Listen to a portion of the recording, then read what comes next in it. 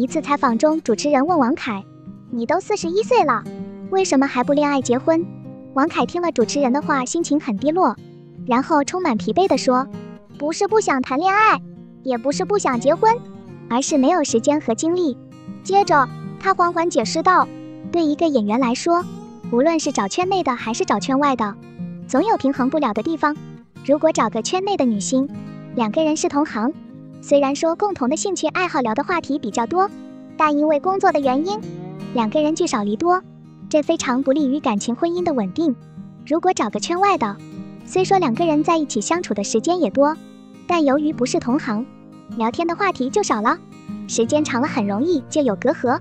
主持人又问：“你觉得不同年龄段，你对另一半的要求会有不同吗？”王凯坦率地回答道：“会啊，主持人。那现在这个阶段。”你更看重女孩儿什么？王凯更看重的是能不能跟你聊到一块儿去，能不能是在一个频道上。听了王凯的话，不得不感慨明星真的挺不容易的。为了更好的发展自己的事业，大多数人耽误了自己的终身大事。就像何炅何老师，多好的一个人啊，在娱乐圈也是非常受人尊重的。唯一的遗憾就是没有结婚生孩子。今年他已经四十九岁了，马上就五十了。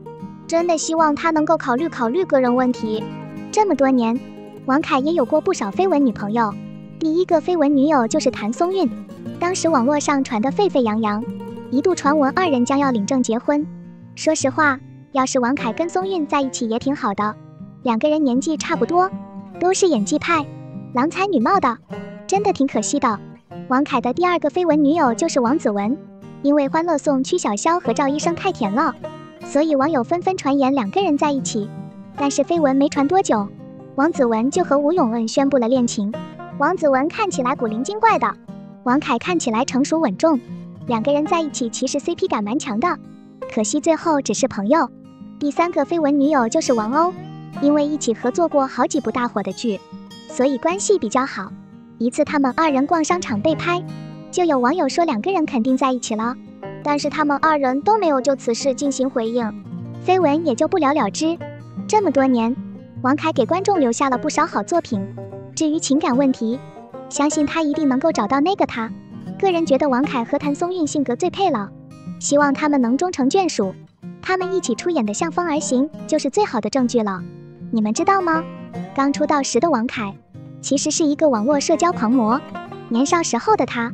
为了不耽误和粉丝开心果约好的互动，家里电脑坏了，自己会跑到网吧去上网。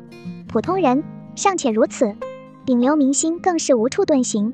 王凯曾在一个名为《先生的朋友圈》的访谈节目中透露：“我是没有朋友圈的，我就是想让自己消失在朋友圈中。”主持人先是在节目开头谈起了自己对王凯的初印象，他的观点也具有一定的代表性。仅看王凯的戏，他的脸是很有情绪的。时而冷峻，时而温情，他的表演是非常安静的，不疾不徐，张弛有度。他的人物表现是有张力的，复杂中带着单纯。但是王凯这个人，生活中又是一个极活泼的、不冷场的人，和他所饰演的绝大部分角色，具有一种天然的反差萌。《向风而行》主要讲述了王凯饰演的飞行部副主任顾南亭和谭松韵饰演的新调来的客机新手机长程潇，意外成为上下级关系。并在一次次的摩擦中相互理解、相互成长的故事。虽然简单看来，这又是一部军旅电视剧中常见的男女主双向奔赴的爱情故事，但剧中除了爱情线，还有很多飞行的故事，比普通情感都市剧内容要丰富很多。据悉，在拍摄这部剧时，为了让剧情尽可能做到百分百还原剧本，剧中场景也都是设置在真实场地。主创们不仅采访了航空从业者，并与他们沟通交流。与此同时，也亲身感受了该行业通常的工作流程。王凯饰演的男主顾南亭，作为一名经验丰富的航空人员，不仅严格遵守各种飞行标准，尤其是面对突发事故，首先考虑的是飞机上乘客的安全。所以，顾南亭在面临台风降雨影响的时候，选择了绕行。然而，同样的问题到了女主程潇身上就大不相同了。作为货运的机长，程潇面对突发情况，毅然决然选择避云迫降。虽然最后没有危险，但这样的行为还是存在着极大的风险。这也导致了男女主的第一次冲突。因程潇的自作主张，使其直接被降格至客运部门。并剥夺了他飞行员的身份，做起了观察员。顾南亭则自然而然地成了他的顶头上司，两人的故事便由此开始。程潇勇敢且足智多谋，当面对乘客对空姐的不礼貌行为时，他不仅懂得安慰同事，还假装自己取得了乘客的指纹，让他们不得不道歉。同时，他还可以记录和保留证据，既聪明又机灵。但这也是问题所在。面对如此恶劣的事件，满腔热血的的程潇打算立即报警解决。但当时飞机即将起飞，如果报警，整个过程都会被耽误，所有乘客的时间和精力都会被浪费。但程潇不顾一切坚持报警，最终虽然乘客被警察带走，但代价是航班取消。飞机上所有乘客都要为程潇的不计后果付出代价。顾南亭得知此事后勃然大怒，但程潇的态度依然是我没错，一脸的不服。虽然顾南亭平时对程潇要求很严。但是当下属有问题的时候，为了留住程潇，他还是会主动采取惩戒措施。从这点来说，顾南亭是个好上司。谭松韵饰演的程潇桀骜不驯、血气方刚的性格被演绎的淋漓尽致，尤其是挑战自己上司的片段，让人热血沸腾。多次扮演过这类角色的王凯，在扮演顾南亭这个角色时，自然得心应手。他表面上很严肃，但内心很关心下属。他是一个冷脸热心肠的好队长。通过这部剧，相信王凯和谭松韵能得到更多的长尾效应，能在演艺事业上得到更好的发展。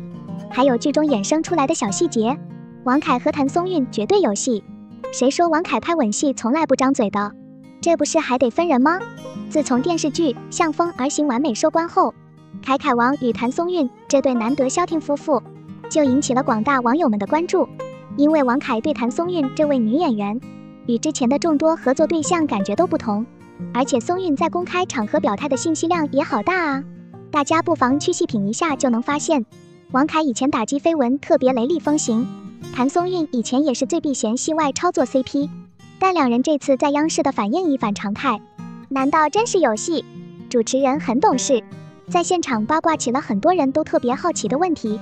就是谭松韵能不能跟剧里的那个角色，也就是现实演员王凯在一起，得到了谭松韵模棱两可的答复，希望吧，看缘分，没有明确拒绝，在一定程度上，就是皆大欢喜的结果啊。听到松韵这么一说，更加能感到他们这对夫妇会成，而且还有更区别对待的行为，就是吻戏。王凯在之前的剧组里，因为身世，所以一直对女演员没有过分的行为，正因如此。一直有被女演员吐槽太矜持，拍吻戏从来不张嘴，破坏气氛。但是在向风而行的剧组里，王凯对戏特别主动，还没有正式开拍呢，两人就抱着贴贴，那小情侣之间那股甜蜜劲儿就出来了。吻戏更是一次又一次的试探，这个又强烈又强势的深吻，我看谁还敢说我凯凯王拍吻戏不张嘴、不投入、破坏气氛？这男人明明就很会呀！特别是在剧组里，凯凯王还会特别巧妙的借题发挥。毕竟在剧组的时候，两人都笑得前仰后合，互相支撑着彼此的重量。